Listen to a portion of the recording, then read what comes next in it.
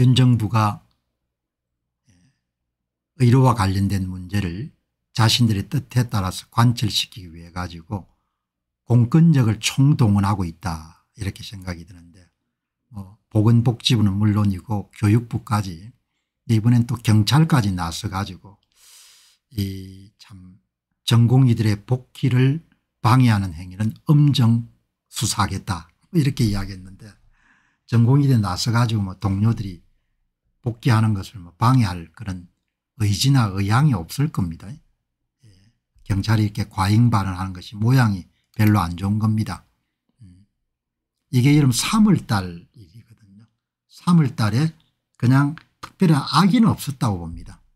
복귀 전공의 명단을 한 5명 정도 올린 건데 지난 3월 의사 전용 커뮤니티 사이트인 메디스태프에 병원으로 복귀하는 의사 명단을 공개한 참의사 계신 전원 가능한 병원 안내해 드리겠습니다. 뭐 이렇게 3월 달에 이렇게 올렸는데 이걸 그냥 근거로 해가지고 10일 날 오후에 의사 집단 행동 불법 대응 행위 대응 하상회 이렇게 열고 예, 전공의 복귀를 방해하는 뭐 복귀를 방해할 의지도 없을 겁니다. 전공의들은 뭐 각자가 알아서 복귀하면 복귀하는 거 막 그렇게 생각할 건데 이렇게 경찰이까지 나서 가지고 딱딱하게 전공의 복귀 방해 가용 수사 역량 총동원의 음단 이렇게 하니까 예, 해당 전공의들은 얼마나 언짢겠습니까 예. 그렇게 바람직하게 보이지 않는 그런 행동 같은데 음. 이런 것이 다 이제 예, 불신을 초래하는 거죠. 현장을 잘 모르는 겁니다. 많은 사람들이 안 들어갈 것 같아요. 예. 교육부가 노골적으로 정원 의대 의평원 평가 개입 의사를 드러내고 있다. 예. 이제 규칙 같은 것이 별로 중요한 게 아닌 겁니다. 의학 교육에 여러분들 질을 유지하기 위해 가지고 의평원이라는 조직이 있는데 의평원이 수십 년간 활동을 해왔을 거 아닙니까 국제의과대학 교육평가기관들하고 협력을 해가지고 그거를 사전 심의를 해라 이렇게 요구하는 누구나 이름 의심할 거 아닙니까 아 본인들이 의과대학 정원을 늘린 다음에 그것이 의평원에서 걸릴 가능성이 있으니까 미리 의평원을 하여금 자기들에게 협조해 달라 이렇게 규칙 자체를 아무렇게 않게 여기는 겁니다. 그냥 필요하게 되면 그러니까 더불어민주당이나 국민의힘이나 윤석부나 똑같은 겁니다. 그냥 규칙을 대하는 태도가 그냥 불필요하면 다 뜯어 고쳐버린 겁니다. 그렇게 하는 거죠. 예. 이게 이 양반들이 갖고 있는 생각인 겁니다. 예. 이주호 장관이 사전 심의를 요구한 것은 평가 기준을 해비하자는 취지다. 이걸 누가 믿겠습니까 교육부 장관 교육부 차관이 다 나서 가지고 이번에 의과대학 정원을 배정받은 학교에 을 무난하게 의평원을 통과시키려고 하는 조치다 이렇게 다 여러분들 받아들일 거 아닙니까 교육부 장관 하는 이야기를 들어보면 내가 기가 차가지고 예. 교육부는 정원 의대에 대한 평가 기준만 사전심의 대상이고 평가가 끝나면 기존처럼 사후보고를 받겠다. 평가 기준만 사전 심의 대상이니까 평가 기준을 바꾸라고 할 거 아닙니까 그게 말이 되냐 이야기예요. 예? 경기하기 바로 전에 예? 골 경기하기 바로 전에 규칙을 바꾸라는 거 아니면 골대로 옮기라는 거 아니에요. 예? 이런 것들이 다 세월이 흐르면은 다 이름들 공직자의 월권으로 해가지고 다 처벌될 겁니다 이렇게. 뻔히 본인들도 아는 겁니다. 예. 의과대학 정원을 늘려놓게 되면 질이 확 떨어질 것이다. 다 아니까 사전에 의평원을 손을 봐야겠다는 거 아닙니까 예. 음. 의 평원의 주요 변화 평가 기준 사전 심의를 요구한 이유에 대해서 의대 정원으로 인한 학사 운영 차질을 극복하기 위한 탄력적 학사 운영과 탄력적 학사 운영도 F 받아도 유급시키지 말라는 거 아니에요. 예? 의대 교육 선진화 방안이 평가 인정 기준에 반영될 수 있도록 협의하자는 취지다. 말도 어떻게 이렇게 이 사람이 경제학을 했거든 이지호 씨가. 예? KDI 이름들 연구위원을 하다가 출세를 했는데 말하는 꼴 보시기 바랍니다. 의대교육 선진화 방안이 평가 인정 기준에 반영될 수 있도록 협의하자는 취지다. 어떻든 간에 교육부가 여러분들 장관 차관이 다 나선 거는 딴거 아니지 않습니까 예. 의과대학 정원을 늘렸으면 의학교육의 부실화가 불가피하는 걸 본인도 잘 아는 거 아닙니까 잘 알기 때문에 사전에 의평원을 손을 써가지고 그냥 다 예, 통과되도록 만들어주겠다는 거 아닙니까 그게 부실 여름 의사들을 배출하도록 그렇게 만들겠다는 안 뻔한 걸 가지고 거짓말들을 다 하는 겁니다. 예? 말은 뻔질을 예. 이주호 장관 하는 이야기 보시기 바랍니다.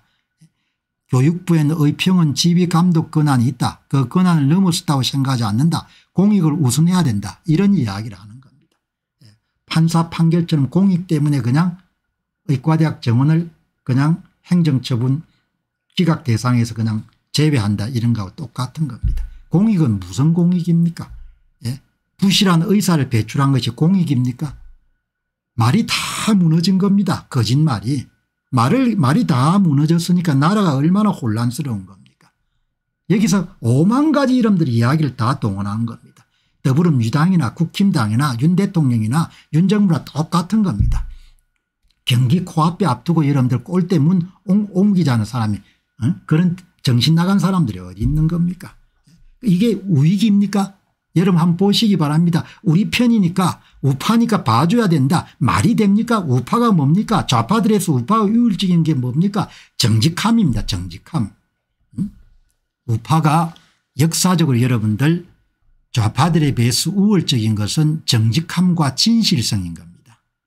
지금 이 이조 장관이 국회에 나와서 하는 이야기가 진실됩니까 정직합니까 대한민국 사람들 진짜 정신 차려야 돼요. 정직감을 다 쓰레기통에 처박아 놓는 겁니다. 정직함이 밥 먹여주나? 어, 밥 먹여주지. 나중에 정직하지 않으면 다 망하는 거야. 이런 이야기 하지 않습니까 그리고 말하는 이 꼴 보시기 바랍니다. 이조 장관께서 교육부의 목표는 의대 정원을 확보하는 것도 있지만 더 중요한 것은 의대 교육 질 제고입니다. 교육질 제한은 용납할 수도 있고 질을 제고하겠다는 전제하에서 말했습니다. 어떻게 질을 제고할 거냐 이야기죠. 예. 의과대학 교육을 받아본 사람 전부가 다 의과대학 교육이 떠, 질이 떨어질 수밖에 없다고 하는데 벌건 거짓말을 하나도 표정 안 받고 이야기하는 겁니다. 좌우익이 아무 차이가 없는 겁니다. 대한민국은. 예. 지금 대한민국 상황이란 것은 좌우익이 별로 차이가 없는 거예요. 온통 거짓말 하는 겁니다. 구역질이 나는 이야기인데 내가 이런 매일 방송을 하기 위해 가지고 자료 읽으면서 구역질이 나는 겁니다. 정원을 1년에 1500명 2000명을 늘리고 교육질이 어떻게 확보가 됩니까 교육질이 확보되지 않은 것을 본인들도 뻔히 알기 때문에 의평원의 사전심의 평가 기준 사전심의 가지고 우리가 원하는 대로 평가 기준 다 바꾸라는 거 아닙니까 나중에 정권 바뀌면 다 뭡니까 그냥 예 청문회 열어가지고 국정감사 이래가 이름 다 책임 물어야 될 사안인 겁니다. 음. 예, 장, 장 차관도 예. 의평원을 의학교육 분야 평가 인정기구로 재지정하면서 사전심의 조건으로 통보했다고 밝혔다. 한국은 앞으로 대학도 다 맛이 갈 겁니다. 교육부가 워낙 큰 힘을 갖고 있어가 전부 다 규제를 하는 겁니다. 이렇게 15년째 대학 교수 봉급을 다 묶어 놓은 겁니다. 그래도 아무 이야기 안 하는 겁니다. 15년째 여러분들 대학 교수 봉급을 다 묶어 놓으면 예, 봉급 수준이 지금 어떻겠습니까 예, 누구도 여러분 신경 안 쓰는 겁니다. 자기 새끼들은 다 미국 가서 공부시킬 테니까. 모든 걸 다 교육부가 여러분들 다 개입해 가지고 이렇게 망칠 수가 있는 겁니다. 그럼 하나를 보면 열을 벌써 다 아는 겁니다.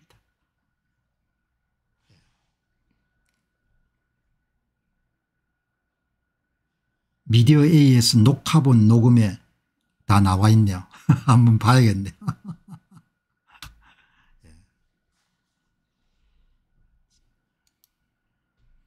또 전남에는 아니 전남대학교의 의과대학이 역사가 오래됐을 건데 전남대학은 또 국립의대를 왜 또 신설하는 겁니까 참 대단한 나라들입니다. 예. 전남 국립의대 신설을 위해서 노력하겠습니다. 그럼 또 정원 늘이야겠네. 아니 전남대 의대가 있지 않습니까 전북대 의대도 있고 다들 박쥐 같다는 생각이 들죠. 나라 앞나라 아무도 생각 안 하는 겁니다. 음. 어떻게 하면 좀 더 많이 뜯어먹을까 이것만 생각하는 것 같아요. 예. 그래도 뭐 단비와 같이 순천향대학교의 천안병원장께서는 소신껏 전공의들의 의사를 존중해서 2월 29일자로 사직 수리를 하겠습니다. 예.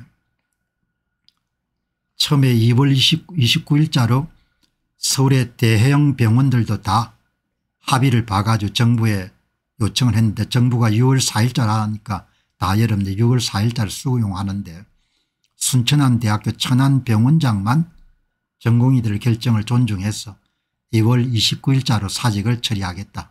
예. 그나마 이제 어른다운 예. 뭐 이분도 불이익이 좀 있을 건데 이렇게 하셨네. 예.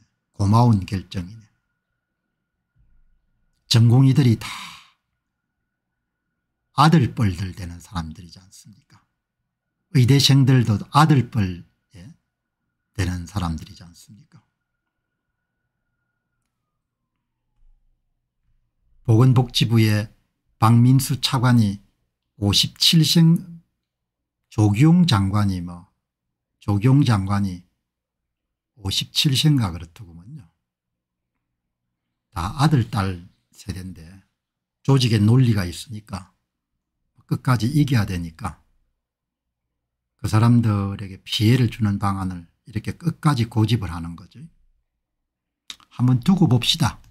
뭐 어떻게 되는지. 길고 짧은 것은 두고 봐야 안 되겠습니까 지금은 윤 대통령 힘이 아직도 살아있고 예, 권력을 쥐고 있기 때문에 본인들이 원하는 대로 다 이렇게 밀어붙이는 거죠. 2월 29일자 사직 처리 요구를 묵살하고 6월 4일자로 예, 다 일괄에 처리를 하고 그 다음에 9월 예, 달에 전공이 그런 모집 공고에 응한 사람들에 대해서는 불이익을 주지 않고 응하지 않는 사람들은 내년 3월도 복귀할 수 없고 내년 9월까지 가야 복귀할 수 있다. 뭐 이렇게 하는 것이 다 그 사람들 입장에서는 다 뭐 자기들이 힘을 갖고 있으니까 자기들 명령 따라 다 움직일 것이다 이렇게 보는데 그런데 뭐 그렇게 그렇게 돌아가기가 쉽지가 않겠죠. 9월 달에 전공의들이 대부분 다 거부를 해가지고 다른 인기가는 전공의들이 채워지더라도 필수 의료 인력들이 부족하게 되면 결국 대학병원들이 정상적으로 운영이 될 수 없는 것이고 대학병원들이 정상적으로 여러분들 운영이 될 수가 없으면 은 사람들이 불만이 누적이 될 것이고 그 과정에 사람들이 다 깨어날 것이고 그리고 윤 정부의 의과대학 정원 조정이 얼마나 무도한 정책이었는 걸 사람들이 알게 되고 그것이 개인적인 피해로 돌아오게 되게 되면 은 그게 그냥 사람들이 가만히 있겠냐 이야기죠. 그걸 탄핵 카드를 만지는 사람들은 활용하게 될 것이고 그런 불이 번져 나갈 수가 있다는 거죠. 그러니까 세상을 어렵게 보고 하시, 하는 사람들은 예, 작은 불씨도 불이 번지기 전에 주의를 하는데 그런 부분들이 전혀 보이지 않으니까 제 이야기는 미래와 관련된 얘기가 예단할 수 없지만 두고 보자는 이야기죠. 어떤 식으로 돌아가게 될지.